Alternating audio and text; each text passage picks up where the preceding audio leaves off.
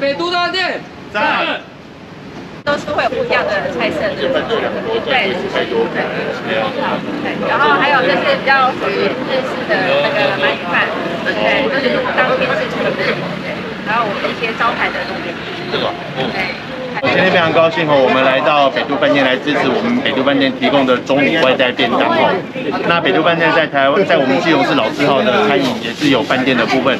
那因为疫情的关系，所以许多社团的聚会没有在办法举办哦。那所以我想北都饭店今天推出这样的餐，那我还有我们浩瀚艺人也特别来到这边给他们最大的支持。因为疫情的关系，那现在呢，我们的消费者一般都要。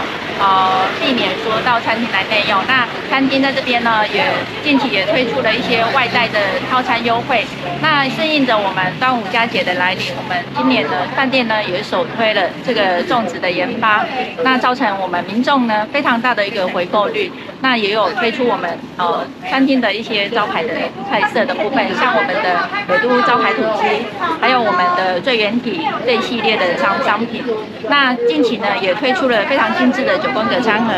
那我们也希望更多的好朋友哦，如果有需求的话，可以来购买他们的外带餐，其实还蛮好吃的。我刚刚特别看了一下，呃，香喷喷，然后非常的吸引人。那我相信，那尤其是他最近推的一些餐饮点餐点的部分，也都还蛮有特色的。欢迎大家一起来。捐快筛品尝照，捐快筛品鸡肉。我五月初确诊的时候还要插门进去，那我发现原来鼻孔弄两圈就可以了。刚开始我记得那个卫教所的说鼻孔弄两圈会不准，说那个会乱弄一次，说要插进去一点才可以。所以很多人说这个插鼻孔测试完之后，他们会有人鼻子不舒服情形哦。那我相信如果是照刚才董事长这种做法的话，其实对我们呃不论是我们工作人员或者院民来讲。需要的时候，他就不会有心理的负担跟压力。我觉得非常的感谢哦，我们科技业的逐渐的一个发展。那所以在这过程当中，刚才社会处也提到，呃，我们有一个制度，就是希望有我们相关的工作人员能够时常的或者定期的去量测是否有感染这样的欧变黄的病毒。那所以它是一个消耗品，几乎已经快跟三餐差不多，都会需要用得到的哦。那在状况之下，市政府即便有中央的补助，市政府自己有购买，但说实话仍然会不够。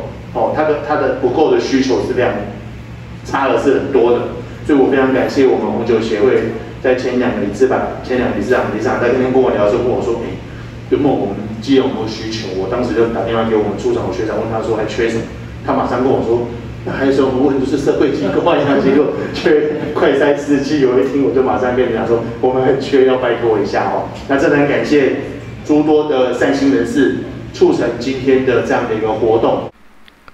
记者黄日升、季勇报道。